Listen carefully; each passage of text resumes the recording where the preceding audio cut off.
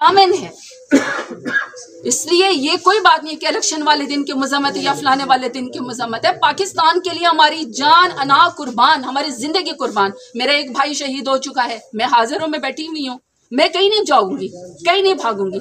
न मेरा लंदन में घर है न, न मेरा न मेरा किसी और मुल्क के अंदर घर है। पाकिस्तान के शहरियों सबज पासपोर्ट के ऊपर और सबज झंडे के ऊपर पाकिस्तान के झंडे के ऊपर मेरा फखर है।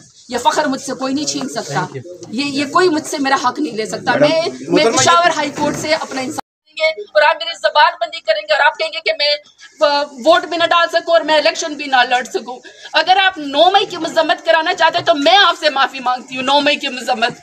मेरा भाई जावेद आलम शहीद नाइन इलेवन के बाद वॉर और टेरर के अंदर शहीद हो चुका है। मैं शहीद की बहन हूँ। मैं शहीद की बहनों पाँच फुट दस इंच का था जावेद आलम वज़ीर शहीद का। जाओ जाके उसकी कबर वजीरस्तान में देखो।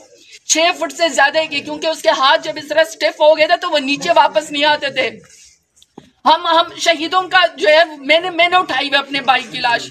हम शहीदों की बेहरमती कैसे कर सकते हैं? तीन को प्रपोजल सेकेंडर को छोड़ दिया जाए, क्योंकि ये खातन डेरा गाजी खान में, इन्होंने हिम्मत की इतने मुश्किल में कि वो मेरी प्रपोजल और सेकेंडर बनी है।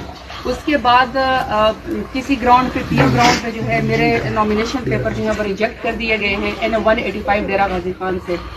और मैंने तब भी चीफ इलेक्शन कमिश्नर साहब को और मैंने चीफ जस्टिस साहब को और मैंने पाकिस्तान के तमाम इदारों को अपील की। कि मेरा हक है कि मैं इलेक्शन लड़ूं। मैं पाकिस्तान की शहरी हूँ। मैंने पाकिस्तान में कभी कोई कानून नहीं तोड़ा मैंने तो कभी ट्रैफ़िक का सिग्नल भी ज़िंदगी में नहीं तोड़ा और अपने दौरे हुकूमत में मैंने अड़तीस महीनों में जिस तरीके से डेरा गाजी खान को मैंने जिस तरीके से रिप्रेजेंट किया, कभी किसी ने इतना रिकॉर्ड काम नहीं कराया कि मैंने डेरा गाजी खान में अड़तीस महीनों में फोर पॉइंट फाइव बिलियन का मैंने कार्डियोलॉजी हॉस्पिटल बनवाया फोर पॉइंट थ्री बिलियन का मैंने मदर एंड चाइल्ड हॉस्पिटल बनवाया। मैंने वहाँ पे खातन की पार्क बनवाया। पहले खातन की वुमेन यूनिवर्सिटी बनाई तो मेरा राइट है कि मैं दोबारा से इलेक्शन लड़ूँ। लेकिन मेरे नॉमिनेशन पेपर जो है, वो रिजेक्ट कर दिए गए। वो अब ट्राइब्यूनल में गए और ट्राइब्यूनल के अंदर मेरी पीओ ग्राउंड थी कि मैं कोर्ट के अंदर सरेंडर करूँ। मैं पाकिस्तान की एक शहरी हूँ और मैं पाकिस्तान के आइन के ऊपर कानून के, के तौर पर कानून के ऊपर मैं बिल्कुल बिलीव करती हूँ और मैंने कोर्ट के मैं आकर यहाँ पे पिशावर हाई कोर्ट में मैंने आके सरेंडर किया। मैं सुबह आठ बजे से अपने वकला के साथ आई हूँ। वैसे तो पंजाब में कोई ऐसा शायद थाना नहीं है कोई ऐसा शहर नहीं है जहाँ पे मेरे खिलाफ कोई एफ़ आई आर ना की गई हो।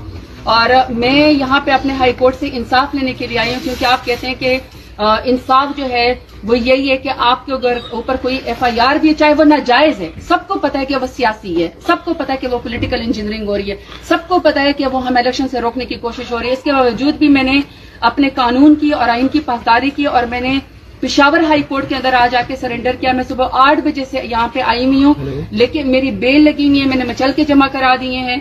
लेकिन इसके मैं रजिस्ट्री ऑफ़िस यहाँ पे गई और बाकायदा मैंने कि मेरे वकील वहाँ पे गए कि मुझे जो है यहाँ से अदालत से रिलीफ दिया जाए। लेकिन सुबह से लेकर अभी तक आपके सामने की रात हो गई है। जज साहब मेरा ख्याल है कि